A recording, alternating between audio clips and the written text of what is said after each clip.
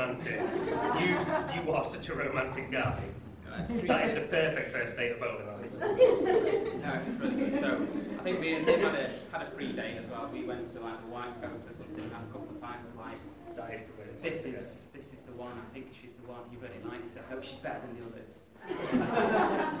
and we got there, and she absolutely was. She oh. delivered more than you could ever deliver. And here we are today.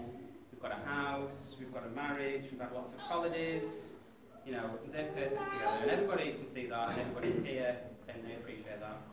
And we just love them to bits. We do. We do. Love you both. You should do.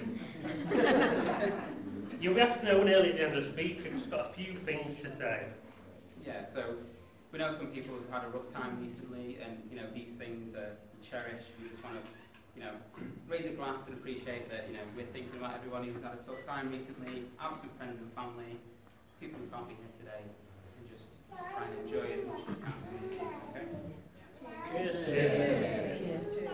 And finally, I think it's just to say congratulations to Mr. and Mrs. Blank.